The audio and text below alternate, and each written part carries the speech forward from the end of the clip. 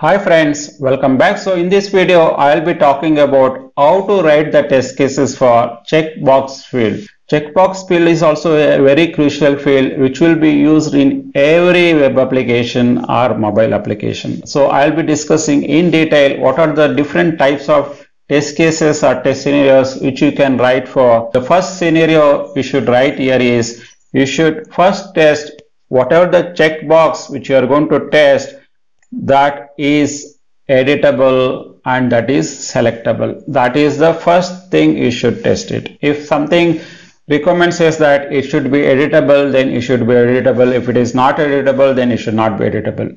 Then the second one is the navigation flow.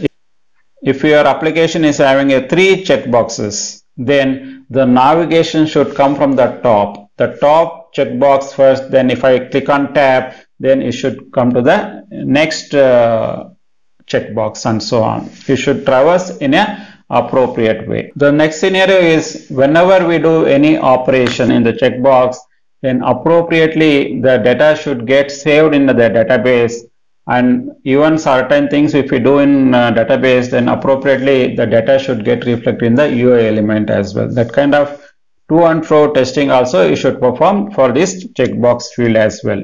Then the fourth scenario is alignment. If it is left aligned, right aligned, whatever the different kind of UX guideline has been done for your application, then appropriate UX guideline also should follow for this checkbox field. Then the next scenario is the focus. By default, the checkbox focus will be in the first checkbox in that web page. If your requirement says that it should be in the second uh, checkbox, then the appropriately it should work.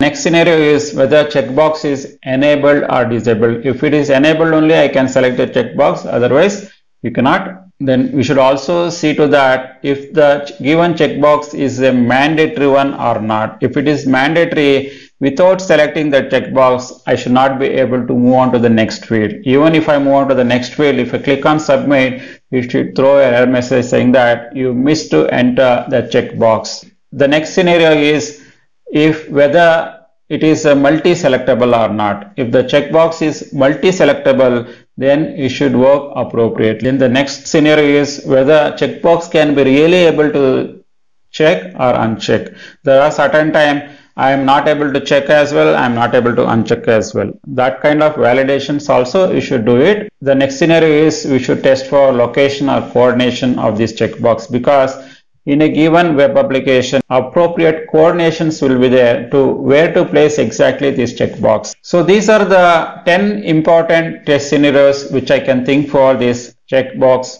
field validation. I am hoping you guys got a clear idea. If you guys really like this video, then please give a thumbs up to this video. If you guys are not subscribed, then do subscribe. Thanks for watching this video. Bye for now. Take care.